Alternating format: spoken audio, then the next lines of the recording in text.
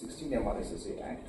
In fact, uh, we have also informed them that uh, the implementation is taking place in letter and spirit. In fact, even now as we speak, you know, even in different localities in Shillong, registrations are taking place, the committees have been formed. So therefore, the question of the MRSSA 2016 Act not being implemented is not there at all. It is being implemented and committees have been formed. Yes, there could be certain districts where the, uh, the process is not as fast as in other districts, but it will be incorrect to say that it is not being implemented. And if there are concerns, I've told them also, and I've told other organizations also, if there are concerns, there are issues, let us know. We will ensure because obviously deputy commissioners and all, there are a lot of activities, a lot of things, situations one has to handle.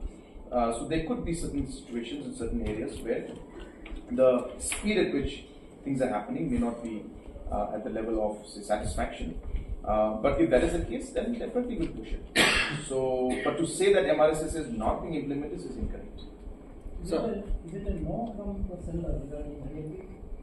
No, it's not like that. They have, uh, in fact, this time also when I went to Delhi, I have raised the issue of the age schedule. I have raised the issue of ILP and the and the issue of MRSSA with the Honorable Home Minister and with the Home Secretary, and they have discussed this matter. So it's not a no, but uh, they are. Uh, it's not uh, as yet confirmed, and they are still examining the, the matter.